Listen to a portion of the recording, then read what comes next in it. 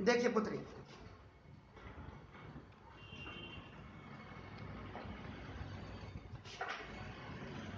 Second question है, देखिए।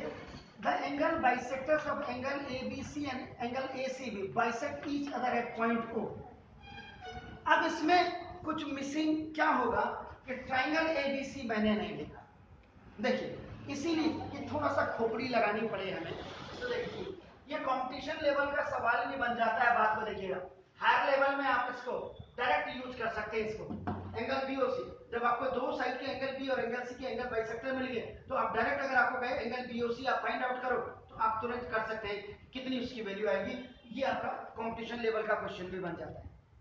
खाली यहाँ नाइन्थ में ये नहीं कि हमने बस अभी एग्ज़ाम पास करने के लिए इनको पढ़ रहे नहीं, इनको आगे कंपटीशन लेवल के लिए भी आपने जनरेट करना है देखो। ये आपका देखो एंगल ए बी सी में देखिए एंगल ए बी सी का बाइसेक्टर ये देखो बाइसेक्टर बाई ये देखो बाई लिख दिया मैंने बाइसेक्टर देखो, और एंगल ए सी बी का देखो, ये देखो एंगल ए सी बी का बाइसेक्टर ये देखो, ये। ये दोनों आपका ओ पे मिल रहे हैं। बाइसेक्टर बी आई लिखा हुआ तो बाइसेक्टर हो गया। ये वन और ये टू कर देता हूँ। ये थ्री और ये फोर कर देता हूँ।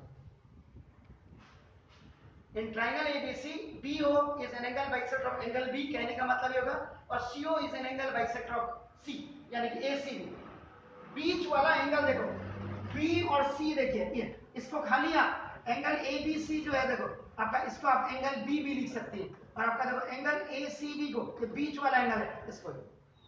आपको जो कन्वीनियंट लगता है, आपको कोई ये नहीं कह सकता आपने ABC क्यों लिखा? B क्यों नहीं लिखा?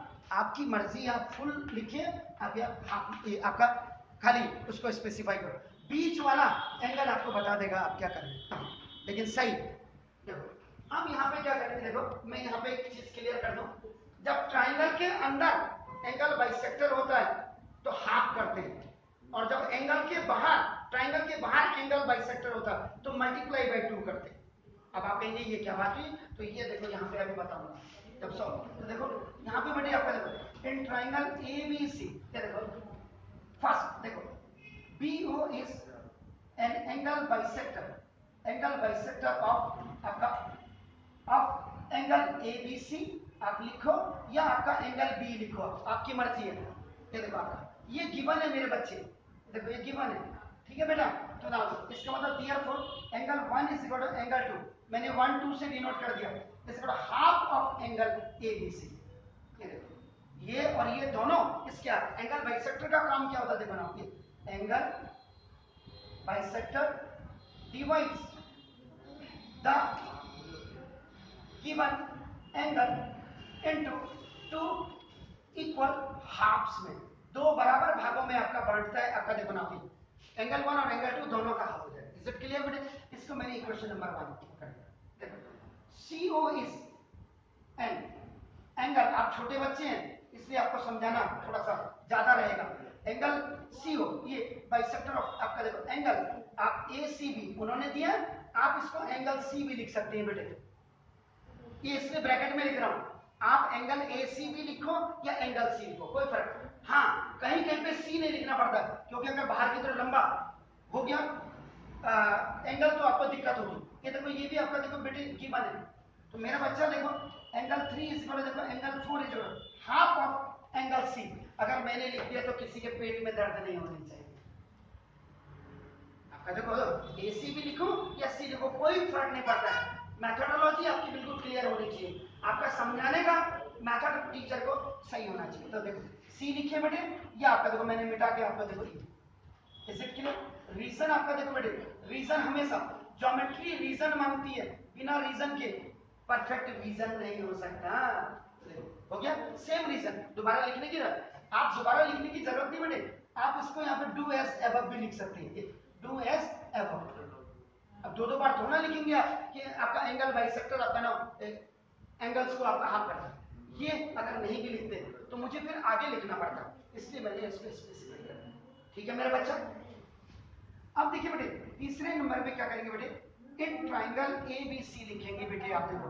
Angle A plus angle B plus angle C is equal one eighty degree ये क्या होता मेरा बच्चा? ट्राइंगल्स के एंगल देखो, इन ट्राइंगल्स में एंगल सम प्रॉपर्टी होती है। ब्यूटीफुल बेटे। अब मैंने अभी थोड़ी देर पहले आपको क्या कहा था बेटे? कि जब एंगल बाइसेक्टर ट्राइंगल के एंगल होते, अंदर होते तो हाफ़ कर देते हैं। और जब यही एंगल सेक्टर बाहर होता एक्सटर्नल एंगल में तो उसको मल्टीप्लाई बाय टू करते देते ये इंटरनल एंगल बाइसेक्टर है इंटरनल तो आप क्या करेंगे मेरा बच्चा, देखिए। डिवाइडिंग देखो बेटा both sides dividing both sides by two कर देंगे। तो देखो मेरा बच्चा half of angle A plus देखो बेटे हाफ़ ऑफ़ एंगल बी और प्लस देखो हाफ़ ऑफ़ एंगल सी इसी को देखो बेटे 180 बाय 2 ये भी हाफ़ दोनों साइड ठीक है मेरा बच्चा? एंगल ए बाय 2 ये हो गया बेटे, आपका देखो। यहाँ पे ये 90 हो गया मेरा बच्चा। एंगल बी एंगल बी का मतलब ए बी सी ठीक है मेरे बेटे अब देखो, क्योंकि हमने, देखो बेटे, एंगल बीओसी निकालना है। एंगल बीओसी देखो नीचे वाला एंगल है। तो इसमें जो एंगल बी का जो हाफ़ लेंगे बेटे, आप अंदर वाला एंगल लेंगे। अंदर वाला। ऊपर वाला नहीं लेंगे मेरे बच्चा। नीचे वाला आप लेंगे। ठीक है बेटे? एंगल टू अंदर। तो देखो मेरे बेटे, मैंने एंगल बी की जगह में, एंगल बी का मतलब ए बी सी ही होता है। ठीक है बच्चा?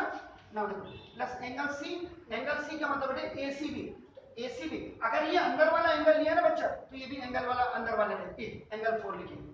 ठीक है बेटे? Angle four is equal to मेरा बच्चा, ये 90 हो गया। तो देखो angle two plus angle four is equal to ninety minus angle A by two ये ओटी में चला गया। प्लस जब इधर जाएगा बेटे,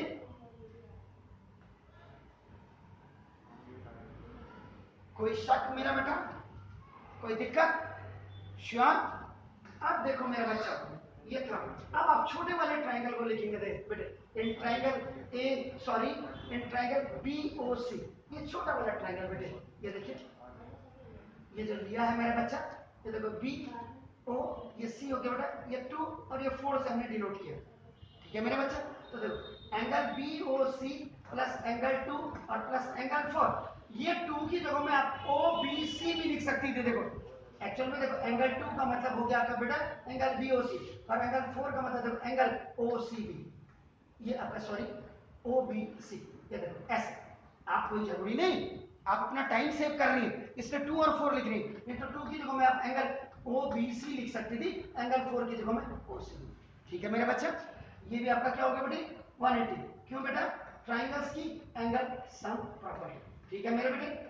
ओके नाउ देखो angle two angle two sorry angle two plus four is equal to बेटे 180 minus angle B O C देखो ये इधर ओटी में चला गया मेरा बच्चा। अब देखो। ये आपकी फोर जरा गौर करिएगा बेटा। गेज घूरिए इसको। Angle two plus angle four और angle two plus angle four दोनों को आप क्या करेंगे? दोनों वैल्यू दोनों की वैल्यू को आप कंपेयर कर देंगे ठीक है बेटा? तो ना ये फोर था बेटा। इसको फाइव कर देते देखो। Comparing equation number three and equation number four for angle two plus angle four दोनों की वैल्यू या तो इसकी वैल्यू डाल दो, कहते हैं आपका सब्स्टिट्यूट कर दो, या दोनों को कंपेयर कर दो, एक ही बात है। तो ये देखो बेटे angle two plus angle four is equal angle two plus angle four angle two की वैल्यू देखो बेटे, इसको आप यहाँ रख दो, यहाँ, या पहले इसको लिख दो। ये 90 minus angle A by two is equal बेटे, दूसरे वाले की वैल्यू देखो 180 माइनस एंगल आप समझ रही बेटा? इन दोनों टू प्लस फोर को, यानी कि इसकी वैल्यू यहाँ रख, या दोनों को कंपेयर कर दो, एक ही बात है ठीक है मेरा बच्चा? ये देखो, ये इधर आया बेटे एंगल बी ओ सी देखो बेटे और ये उधर क्या देखो बेटे ये पूरा आपका उधर गया एरो देख लीजिएगा आप मेरे बेटे। ठीक है? तो ये बी ओ सी माइनस था तो इधर आपका आ जाएगा बेटे?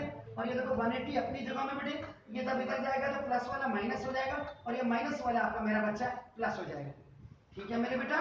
एंगल बी ओ सी देखो 180 में से ये 90 आप सब्ट्रैक्ट कर देंगे बेटे, और ये आपका देखो प्लस एंगल ए बाई ये प्रूव्ड हो गया। क्या था बेटा? ठीक है? अब अगर यही सवाल आपका देखो बेटे, ऐसे होता देखो, ये। ये ए बी सी ये देखो, ये बाहर आपका पी क्यू? ये बाहर, ये ये अंदर था। ये इंटरनल बाइसेक्टर था। अगर ये बाहर होता देखो बेटे, ये और ये, यो आपका बात, ये आपका बाइसेक्टर होता है एक्सटर्नल वो देखिए टू ये देखिए वन मेरा बच्चा, ये फोर और ये देखो, ये थ्री देखो। उस समय क्या होता बेटे, जब यहाँ आपने डिवाइड बाई किया डिवाइड बाई उस समय आपका यहाँ मल्टीप्लाई बाई करते हैं मल्टीप्लाई और इसका जो आंसर आता है ना मेरा बच्चा angle B O C is ninety minus half of angle two आता है एक्सटर्नल बाइसेक्टर में माइनस आएगा बेटे, और इंटरनल बाइसेक्टर में, लेकिन इसमें थोड़ा सा लोचा होता है 180 को जब आप दिखाते हैं तो थोड़ा सा दिक्कत होगी। इसमें कहीं दिक्कत नहीं थी। अभी क्या देखो, ये अगर मैं नहीं लिखता तो मुझे यहाँ पे लिखना पड़ता बेटा, ये देखो कि ए और बी ओ एंगल बाइसेक्टर थे, इसलिए एंगल बी का हाफ़ की वैल्यू है इसलिए मैंने पहले ही इसको स्पेसिफाई कर दिया। क्लियर बड़ी प्लीज़ डू इट